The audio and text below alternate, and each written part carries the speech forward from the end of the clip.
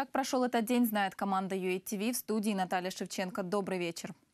Ситуация в зоне АТО в целом под контролем, сообщили в штабе. За день боевики 11 раз нарушили режим тишины. На Мариупольском направлении вблизи Широкина и Новотроицкого применили гранатометы и пулеметы. По Толоковке и Водяном стреляли из минометов калибра 120 и 82 мм. По Маринке огонь вел вражеский снайпер. На Луганском направлении в районе Новозвановки и Новоалександровки противник применял пулеметы и стрелковое оружие.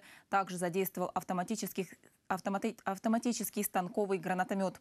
На Донецком провокационные обстрелы велись из крупнокалиберного пулемета у Верхнеторецкого. Из автоматических станковых гранатометов наемники стреляли по Авдеевке.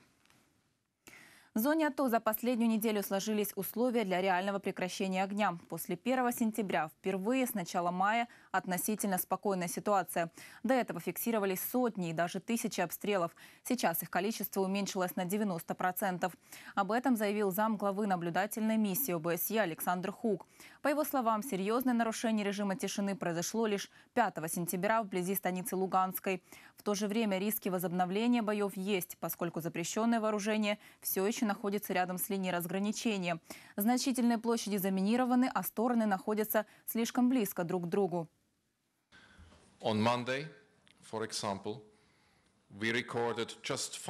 к примеру, в понедельник мы зафиксировали лишь пять взрывов по всей территории Донецкой области. Аналогично относительно спокойная ситуация наблюдалась и в Луганской области. Ни одного режима прекращения огня не было зафиксировано в субботу. В воскресенье только три единичных выстрела со стрелкового оружия. Я призываю стороны сделать следующие шаги. Полное доверие и уверенность. Длительного и стойкого прекращения огня можно достичь лишь если стороны отведут все запрещенное оружие, разведут свои силы и средства. Необходимые шаги к устойчивому миру на Донбассе обсудят на следующей неделе. В Киев прибудут главы МИД Германии Франк-Вальтер Штайнмайер и Франции Жан-Марк Эро. Об этом на встрече с министром иностранных дел Павлом Климкиным сообщил его немецкий коллега. На сегодняшней встрече дипломаты обсудили инструменты обеспечения безопасности на Украинском Востоке.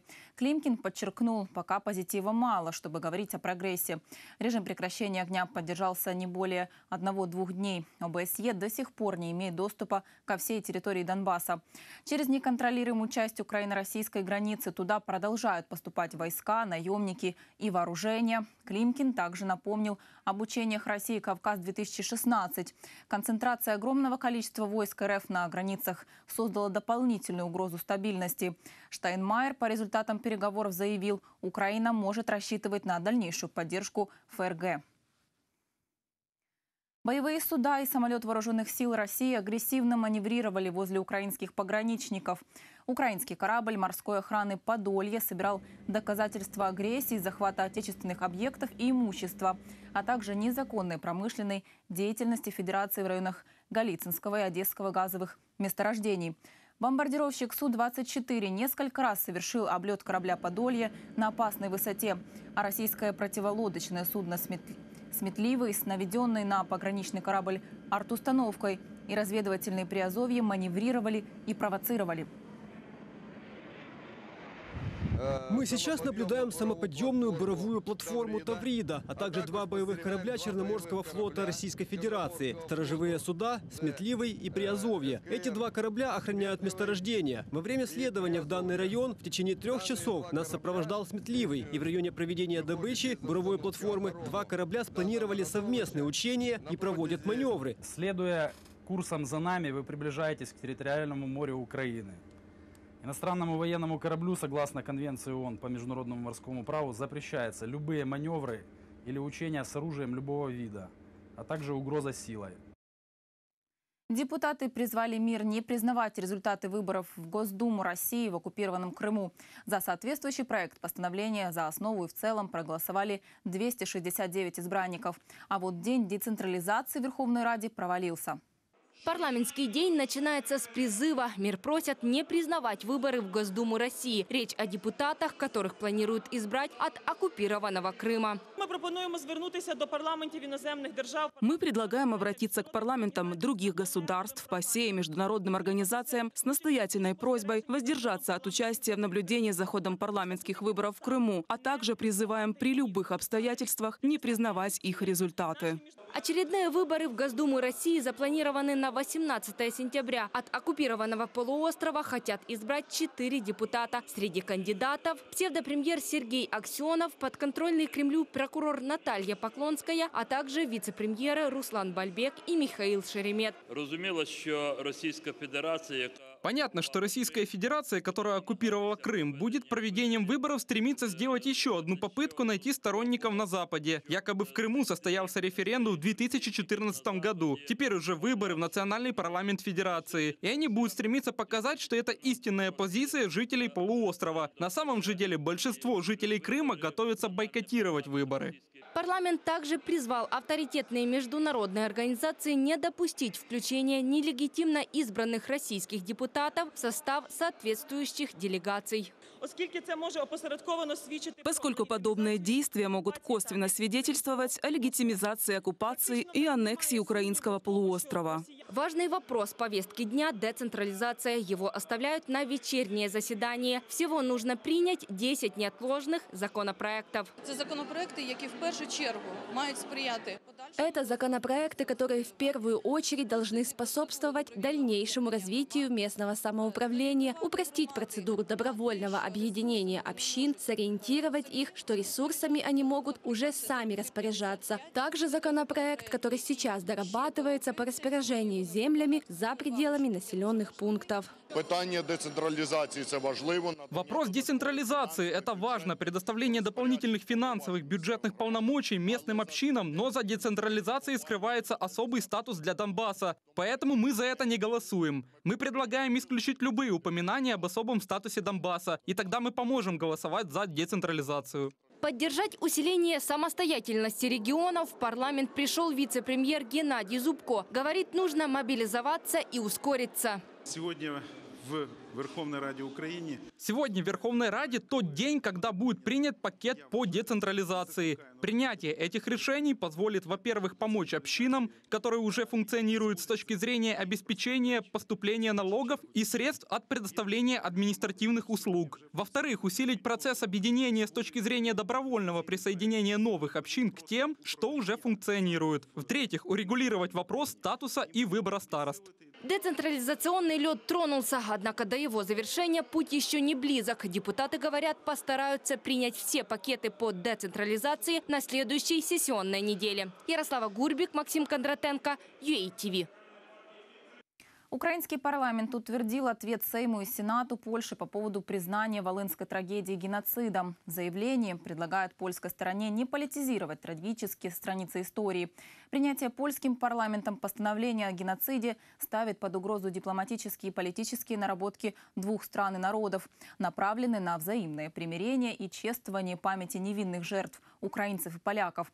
Подчеркнули, решение Сейма дает политически и юридически некорректную оценку страницы украинско-польской истории. Напомню, 22 июля Сейм своим постановлением признал события 1940-х на Волыне геноцидом польских граждан со стороны УПА.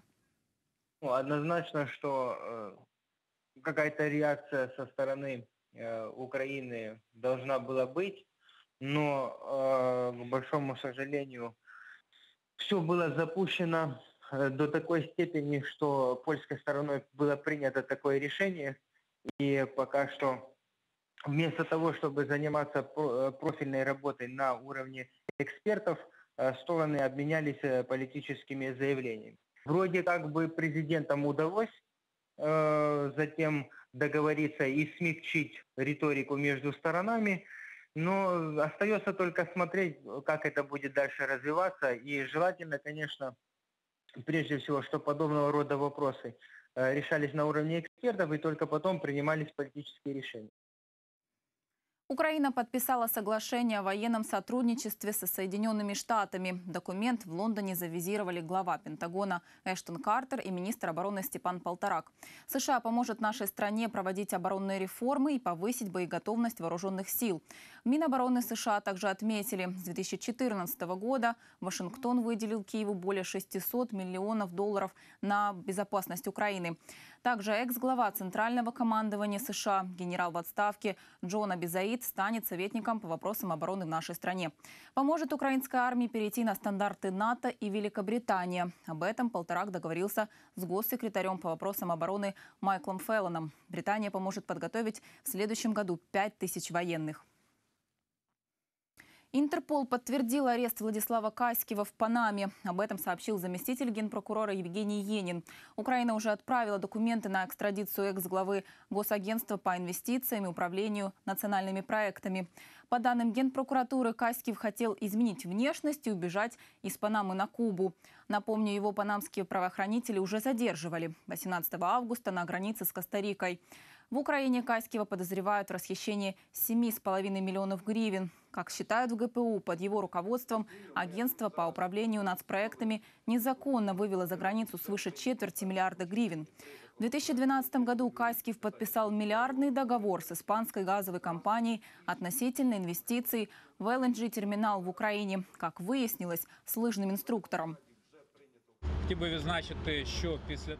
Хотел бы отметить, что после того, как Владислав Каскив нагло хвастался своим селфи с панамскими полицейскими, мы получили оперативную информацию, что это лицо планирует сбежать с территории Панамы. Мы отрабатывали как воздушные, так и морские пути. По результатам скоординированных усилий панамскими властями Владислава Каскива и его близких, которые также находятся с ним, внесли в системы распознавания внешности. Соответственно, даже его попытки изменить внешний вид или покинуть территорию республики любым способом были бы сразу заблокированы. Отмену виз для Украины поддержал еще один комитет Европейского парламента, теперь по правовым вопросам. Его члены призвали Комитет по гражданским свободам, юстиции и внутренним делам, профильный в этом вопросе, предложить Европарламенту внести Украину в перечень третьих стран, для граждан которых отменяются визовые требования. В принятом правовым комитетом документе отмечается, Украина существенно продвинулась в процессе реформ. И подчеркивается, страна должна их продолжать. Особенно касательно утверждения верховенства права. Ранее отмену виз для украинцев поддержал Комитет Европарламента по иностранным делам. Международный валютный фонд таки рассмотрит возможность предоставления очередного транша для Украины. Заседание запланировали на 14 сентября. На официальном сайте МВФ в расписании на следующую среду обозначено рассмотрение украинского вопроса. В свою очередь президент Петр Порошенко рассчитывает на положительное решение фонда. Подчеркнул, по итогам разговора с Кристин Лагард МВФ включил рассмотрение вопроса в повестку дня. Напомню, фонд одобрил программу сотрудничества с Украиной весной 2015-го. Тогда же наша страна получила два транша – 5 и 1,7 миллиарда долларов. Транш фактически этот один большой будет разбит на транша.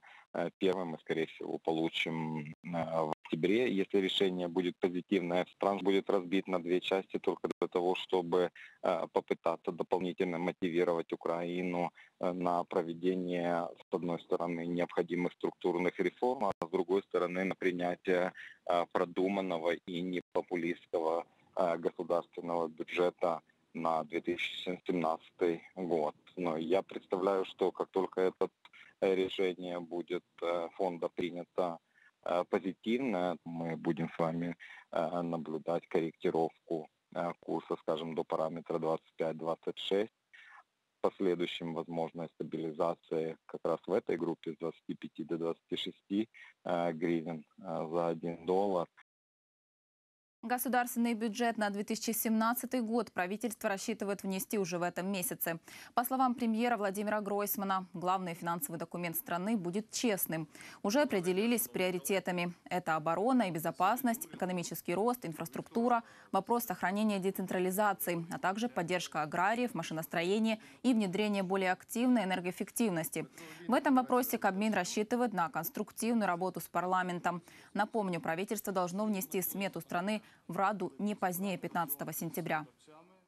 Уряд України внесе в парламент Правительство Украины вносит в парламент честный бюджет. По двум причинам честный. Во-первых, доходы реальные и абсолютно открытое распределение этих доходов на нужды страны. Через этот бюджет мы должны поддержать и машиностроение в стране. Мы можем это сделать уже в следующем году. Один из приоритетов – образование, где мы должны повысить заработную плату учителям и сделать все, чтобы ситуация улучшилась. Я считаю, что в парламенте есть много депутатов, которые консолидируются, чтобы госбюджет был качественным и был утвержден своевременно. Навести порядок с отходами. Электронную карту мусорных свалок разработали в Министерстве экологии и природных ресурсов. Благодаря ей ведомство сможет оперативно реагировать на обращения не только органов местной власти, но и граждан, подчеркнул профильный министр Остап Самирак. На сайте каждый сможет оставлять информацию о свалках. Для этого достаточно зарегистрироваться и отправить обращение. Ведомстве надеются, это поможет систематизировать их количество. Ведь Минэкологии владеет информацией лишь о 2600 Цель сервиса – собрать информацию об остальных. Приблизно 30 тысяч э, сміттєзвалищ Приблизительно на территории Украины есть 30 тысяч свалок. Это и полигоны, и стихийные свалки. Но из года в год передается одна и та же информация, и она не соответствует действительности. В Украине количество мусора, которое выводится для захоронения на свалке, достигает 240 килограммов на человека в год. В Швейцарии – ноль. И я считаю, что это наша цель. Бороться с коррупцией не только на законодательном уровне, но и в головах украинцев. Именно с такой целью создана независимая коммуникационная платформа «Декоррупция». В ее рамках будут разрабатывать информационные кампании, воспитывающие нулевую толерантность к этому явлению. Пилотный проект уже реализовывают. Каждый пятый украинец не считает коррупцию чем-то зазорным, а 70% сами когда-то давали взятки. Такие результаты опроса, проведенного Киевским международным институтом социологии. Хотя ситуация улучшилась после революции достоинства, антикоррупционеры настроены еще долго искоренять это явление из ментальности украинского народа. Мабуть, найважчий и найбільш довготриваючий процесс. Это, наверное, самый трудный и самый продолжительный процесс, потому что мы должны понимать, что коррупция есть не только в высших эшелонах власти. Она присутствует и на бытовом уровне. И мы должны воспитывать нулевую толерантность к коррупции, начиная со школы и заканчивая курсами, которые проходят государственные служащие, например, перед назначением их на должности. В рамках новосозданной платформы «Декоррупция» уже готовят информационные кампании по перевоспитанию украинцев. Например, пилотный проект «Коррупция должна быть замечена» включает внешнюю рекламу, аудиоролики и даже комиксы о супергероях-антикоррупционерах. На подходе специализированный сайт. На базе э, платформы має бути створений и На базе платформы должен быть создан и будет создан веб-портал, который будет содержать новости, аналитику, исследования в сфере антикоррупции, онлайн-курсы, тренинги и семинары. Там будет и библиотека информационных ресурсов, в том числе лучшие примеры из мировой практики. Платформа также даст возможность получить консультацию. Эксперты уверены, настроить украинцев против коррупции можно, если борьбу возглавит харизматичный лидер антикоррупции, который заслуживает доверия. А еще просят СМИ говорить не только о скандалах со взяточниками, но и о положительных результатах деятельности власти и активистов. Юлия Крючкова, Игорь Каркадым, UATV. Награды в копилку украинской команды на Паралимпиаде в Рио. Легкоатлет Роман Данилюк завоевал бронзу в толкании ядра. В категории F12, это вторая из трех категорий незрячих спортсменов, украинец столкнул снаряд на 15 метров 94 сантиметра. Показал лучший личный результат сезона. Вторую медаль, тоже бронзовую, Украине принес Руслан Катышев. Он прыгнул в длину на 6 метров 2 сантиметра в соревнованиях для спортсменов с наивысшим уровнем проблем со зрением.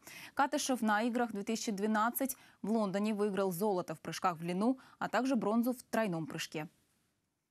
Ставим точку в выпуске. Новости доступны на сайте агентства «Укринформ». Хорошего вечера и помните, мы всегда рядом.